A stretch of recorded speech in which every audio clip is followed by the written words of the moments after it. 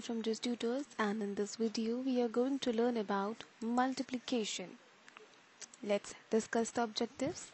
First we will have introduction of multiplication. Then we will learn how to make multiplication with the help of addition. Then some properties of multiplication. Before starting the lesson, let's have some warm-up questions. You can try these questions. For that, you need to pause the video and once you are done, please resume it to check your answers. So you can check your answers from here. Pat your back for your good efforts and I hope that you have got all correct.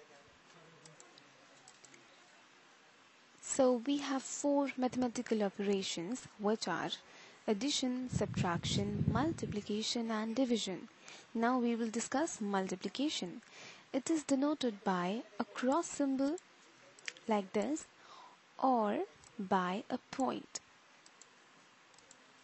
So if we need to multiply two numbers, we need to put a cross symbol or a point between these two numbers like here.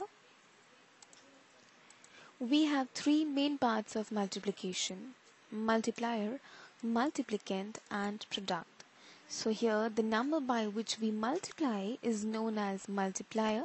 So in this one a 4 is multiplier and the number which is being multiplied is multiplicand. So 5 is multiplicand and when the multiplication is done so our answer is product that is the final answer.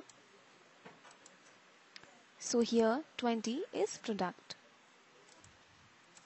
Now let's learn how we can make multiplication with the help of addition.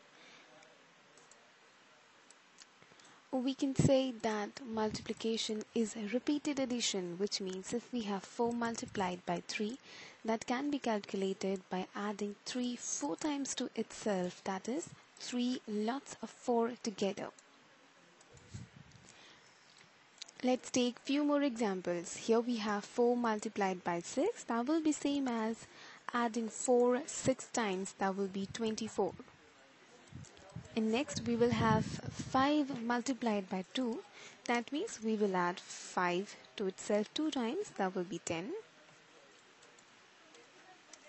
For the next one, the answer will be 21. So see how we can connect multiplication with addition.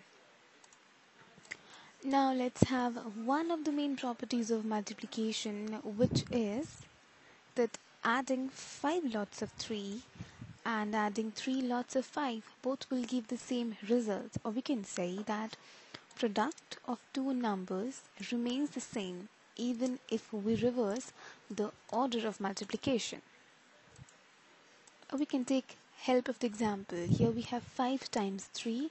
So we have added 5 to itself 3 times. That will be 15.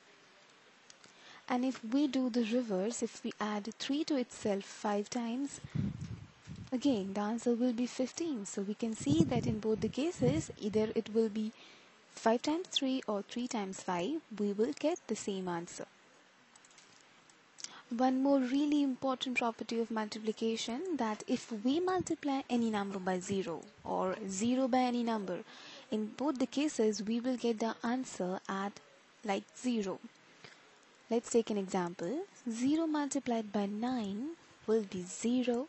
Basically it is same as adding 0 to itself 9 times and as you know that we will get 0 and if we have 5 times 0 that will be 0 again so 0 it's all the number by which it's being multiplying.